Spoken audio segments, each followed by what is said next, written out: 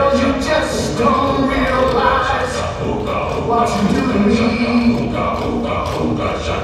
When you